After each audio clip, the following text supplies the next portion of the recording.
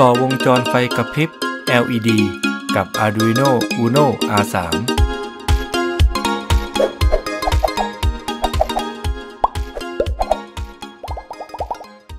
การเขียนโปรแกรมเพื่อควบคุมการติดดับของหลอดไฟ LED ถือเป็นการเขียนโปรแกรมบน Arduino Uno ที่ง่ายที่สุดทำให้ผู้ที่ไม่เคยเรียนเขียนโปรแกรมคอมพิวเตอร์มาก่อน ก็สามารถทำความเข้าใจได้ไม่ยาก อีกทั้งยังเป็นการเรียนรู้การต่อวงจรอิเล็กทรอนิกส์พื้นฐานเบื้องต้นไปพร้อมกันด้วย ในหัวข้อนี้ เราจะมาต่อวงจรให้กับ LED เพื่อทำให้ LED สว่าง โดยอุปกรณ์ที่ต้องใช้ก็คือ 1. บอร์ด Arduino Uno R3 2. หลอด LED ขนาด 5มิลลิเมตรจำนวน 3 ตัว 3. รีสิสเตอร์ 220 โอห์ม จำนวน 3 ตัว 4. สายเชื่อมต่อ ตัวผู้ 5. แผ่นทดสอบโปรโตบอร์ด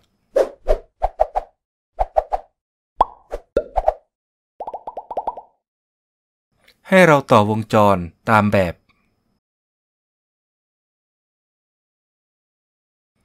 ต่อวงจรกับบอร์ด Arduino Uno หลักการในการต่อคือ ต่อให้ไฟแรงดันขนาด 5 โวลต์ไหลผ่านหลอด LED แล้วไหลลงสู่กราว หลอด LED ก็จะสว่างขึ้นมา แต่เราจำเป็นต้องเพิ่มตัวต้านทานขนาด 220 โอห์มเข้าไปในเส้นทางของวงจรด้วย เพื่อต้านทานกระแสไฟฟ้าไม่ให้ไหลผ่าน LED มากเกินไป ซึ่งจะส่งผลให้ LED เกิดความเสียหายได้ การต่อวงจรภายในแผ่นโปรโตบอร์ด จะเป็นรูปดังกล่าวคือ ด้านบนและด้านล่าง จะใช้สำหรับต่อไฟเลี้ยงวงจร ซึ่งวงจรด้านล่าง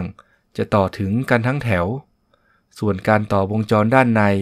จะต่อถึงกันตามแนวตั้ง ให้ทดลองต่ออุปกรณ์ตามแบบการสาธิต การต่อไม่จำเป็นต้องต่อตามการสาธิตทั้งหมด สามารถจะต่อเป็นรูปแบบใดก็ได้ ขอเพียงต่อให้ถูกต้องตามวงจร ก็จะสามารถทำงานได้เช่นเดียวกัน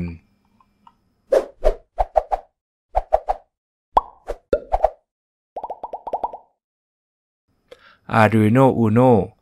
มีขาที่เป็นแบบดิจิทัลให้เราใช้งานได้เบื้องต้นอยู่ 13 ขา ดังปรากฏในกรอบสี่เหลี่ยมสีแดง ขาดิจิทัลของ Arduino สามารถส่งค่าที่เป็นดิจิทัลออกมาได้ โดยสัญญาณดิจิทัลนั้น ถ้าอธิบายให้เข้าใจง่ายๆ มีอยู่ 2 รูปแบบ คือ High มีไฟ และ Low ไม่มีไฟ มีคำสั่งที่ใช้ควบคุมคือ Pin Mode Output คือการตั้งค่าให้ขาอะไรเป็นขา Output เช่นขา 11 12 13 เป็นต้น Digital Write คือคำสั่งที่ใช้ควบคุมการจ่ายไฟสำหรับแบบดิจิทัลจะมีอยู่ 2 ค่าคือ High มีไฟ และ Low ไม่มีไฟ Delay คือคำสั่งที่ใช้หน่วงเวลาหรือนับเวลานั่นเอง โดยจะมีหน่วยเป็นมิลลิวินาที 1 วินาทีจะมีค่าเท่ากับ 1,000 มิลลิวินาที 500 จึงเท่ากับครึ่งวินาที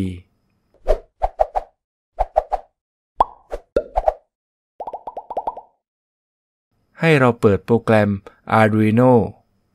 เขียนโค้ดดังนี้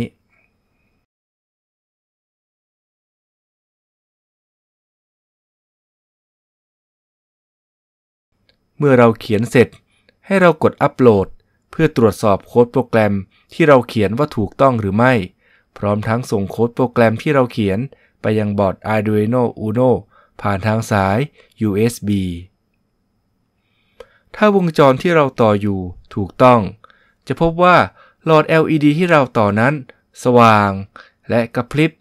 เรียงตามลำดับกันไป หาก LED ไฟไม่ติดให้ตรวจสอบการต่อวงจร หรือลองกลับขั้ว LED ซึ่งอาจจะต่อผิดอยู่